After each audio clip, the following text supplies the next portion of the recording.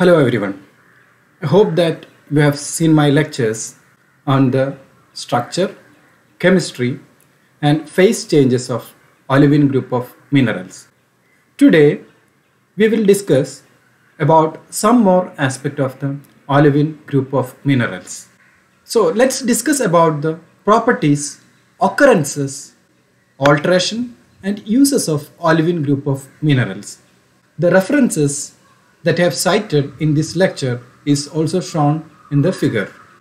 So when you talk about properties, we broadly differentiate the properties into physical properties and optical properties.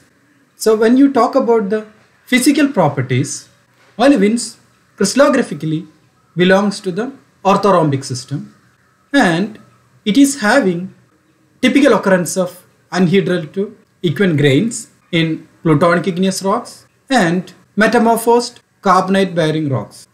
Euhedral crystals are also common in volcanic rocks which are slightly elongated parallel to the c-axis. When you think about the cleavage of the olivine group of minerals, it generally shows poor cleavage with 010 plane and 110 plane. And the fracture is generally conchoidal in nature. Mineral is brittle. When you think about the luster, it is one of the distinguishing character of the olivine group of mineral. It is vitreous in nature. And color of olivines, it shows olivine to yellowish green with darker shades with increasing content of iron. And the mineral also shows a white streak when it is scratched against a porcelain plate. So these are the some of the physical properties shown by the olivine group of minerals. Optical characteristics. Olivines are generally colorless under thin section. However, the iron rich varieties may be showing some yellowish color and it is showing pleochroism for colored varieties from pale yellow to orange yellow. Another important characteristic of olivine group of mineral is that it shows high positive relief. The crystals which are elongated parallel to the c-axis shows parallel extinction.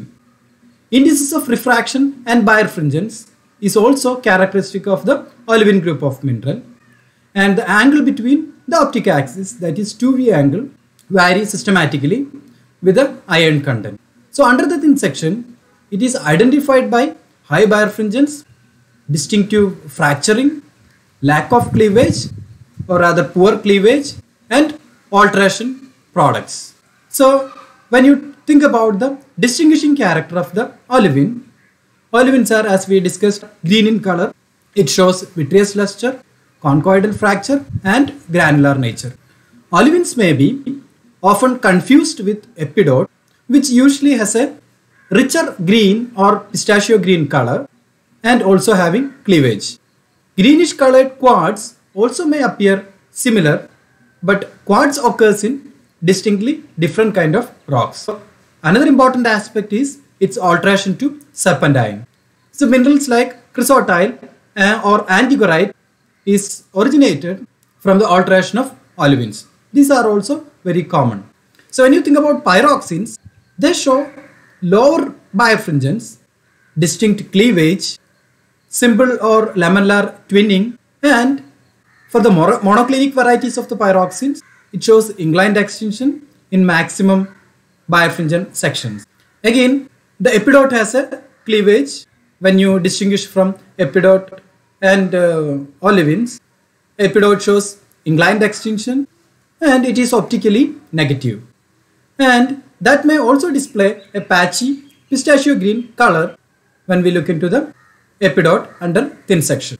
Here you can see green olivine crystal in basalts that is found in San Carlos, Arizona.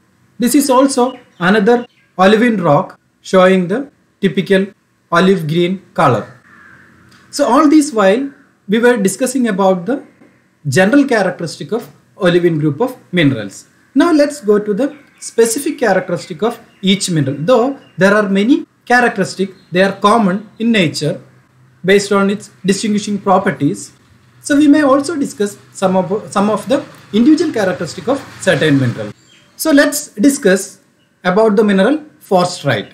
Phosphorite is having a composition of Mg2 SiO4 as we have already learned. In hand specimen identification, forsterite may be identified by its vitreous luster, conchoidal fracture and the usual olive green color.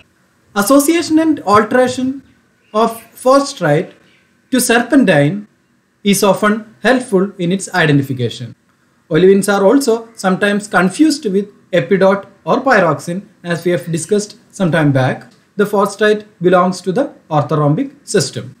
When you think about the physical characteristic of forsterite mineral, generally it shows a hardness of 6.5 to 7 and having a specific gravity of 3.2. When you talk about the physical properties of forsterite, it is characterized by a hardness of 6.5 to 7 and it is having a specific gravity of 3.2 and also have the poor cleavage and the streak shows of white powder. Its luster is already that we have discussed. It is having vitreous luster. When you talk about the optical properties of olivine, the forsterite that is the magnesium rich olivines are colorless in thin section. It is showing high refractive index and birefringence. It is also characterized by poor cleavage and irregular fracture and appearance of equant grains. Forsterite is often altered to serpentine, so which is also helpful in its identification. And the forsterite minerals are biaxially positive. When you think about the occurrences and association of forsterite minerals, the phosphates are a primary mineral in many mafic and ultramafic rocks and is typically associated with pyroxenes, plagioclase, spinel, garnet and serpentine. These are the associated minerals that is found along with forsterite. It is common as both an igneous and a metamorphic mineral in marbles and more rarely it is found in sediments. The typical variety of forsterite is peridot which is a green transparent gem variety of forsterite. Another end member of olivine is fayalite. The chemical composition of it is Fe2SiO4 which is an iron rich olivine having various shades of brown or yellow in color. The physical properties of fayalite includes its hardness of 6.5, specific gravity of 4.4 and which is expressing a poor cleavage and having conchoidal fracture. The luster of fayalite is vitreous in nature and are optically transparent to translucent. It is characterized by, as I've mentioned earlier, various shades of brown or yellow and sometimes green in color. The streak of the fayalite is white in color. When you talk about the optical properties of fayalite, the iron-rich olivines are pale yellow or green in thin section under the microscope and sometimes it may be weakly pleochroic. The index of refraction and birefringence are high for fayalite. As we have mentioned in physical properties, under the microscope also it is shown poor cleavage and often characterized by equant grains and are altered to serpentine or chlorite which is helpful in its identification. Fayalite is optically biaxial negative and this is a less common mineral compared to the magnesium rich olivine that is forsterite and these are found in iron rich granitic igneous or metamorphic rocks. So far we have discussed the two most common olivines, they are forsterite and fayalite. Now let's discuss the other rare occurring olivine named as monticellite, the chemical composition of which is calcium magnesium SiO4. It may be identified by its association, color, conchoidal fracture and its habit. When you think about the physical properties of olivine, it includes hardness of 5.5 and a specific gravity of 3.15. It is also shows poor cleavage, colorless to green or gray color, and vitreous luster, and optically transparent to translucent when it's shown to light, and white streak. So these are the physical properties that is helpful in the identification of the hand specimen of monticellite. When you think about the optical properties, monticellite is similar to other olivines, but it is characterized by greater 2V angle, that is the angle between two optic axes. Monticellite is optically biaxial negative. If you see the habits of monticellite crystals, tends to be having subsequent combinations of prisms and bipyramids. It is usually seen as embedded grains or massive patches in a carbonate-rich host rock. The structure and composition of monticellite is similar to that of the olivine. Iron may be substitute for magnesium, leading to solid solution with kirschsteinite having the composition of CaFeSiO4. Minor aluminium and manganese may also be present in the monticellite mineral. Monticellite is found generally in skarns and less commonly in regionally metamorphosed rocks. Now let's discuss about the alteration of olivine. Olivines are susceptible to hydrothermal alteration, low-grade metamorphism and aerobic weathering. The alteration products of olivines are varied that includes serpentine group of minerals with or without nanograins of clay, iron oxides and chlorite group of minerals. The minerals formed optically homogeneous with submicroscopic intergrowths were called iddingsite, bowlingite and chlorophaeite. Iddingsite is reddish brown and consists of smectite, chlorite and goethite or hematite. Whereas if you think bowlingite, it is green colored and consists of smectite, chlorite together with serpentine minerals and minor talc, mica and quartz. Chlorophaeite is variable in color. It contains chlorite, smectite, goethite and calcite. Another important aspect is the most widespread olivine alteration, serpentinization.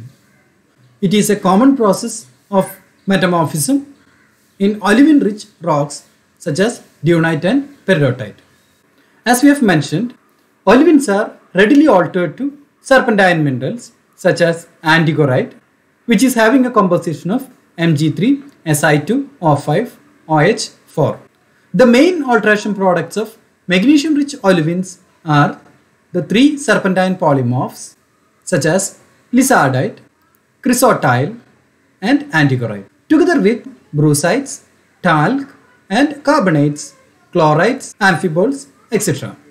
Serpentinization may be expressed by the reactions of, if you see, the forsterite and water which gives serpentine and brucite.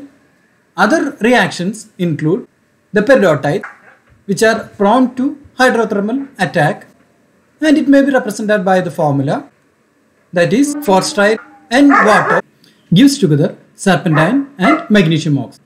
Or if you see forsterite and silica plus water gives serpentine.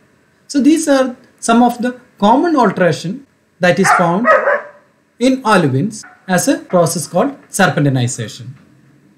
Magnesite which is magnesium carbonate and iron oxides form at the same time as a result of the alteration in the, in the presence of carbon dioxide.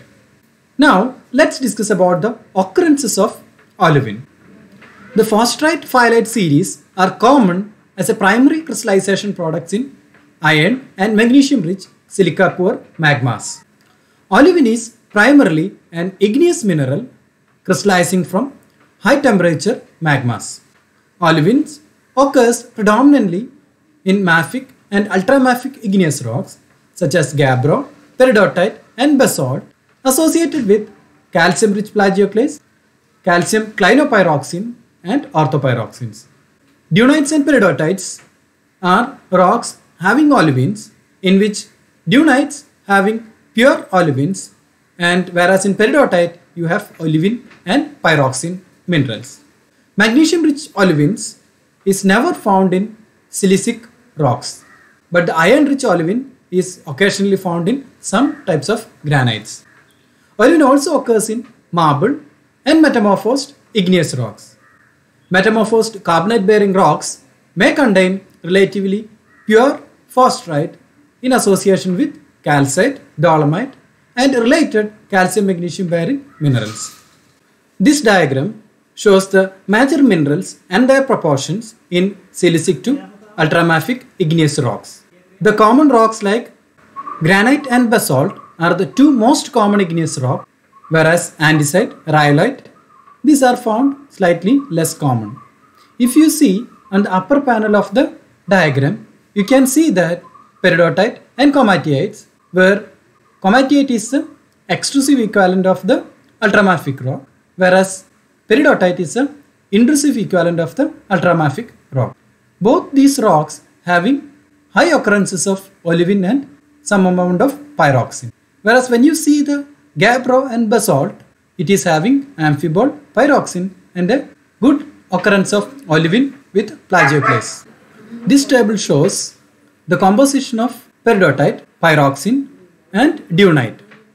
If you see the dunite, it is having mainly olivine as its major mineral. When you see the pyroxenite, olivine occurs as minor minerals in pyroxenite. If you see the peridotite, olivine is one of the major mineral along with clinopyroxene and orthopyroxene.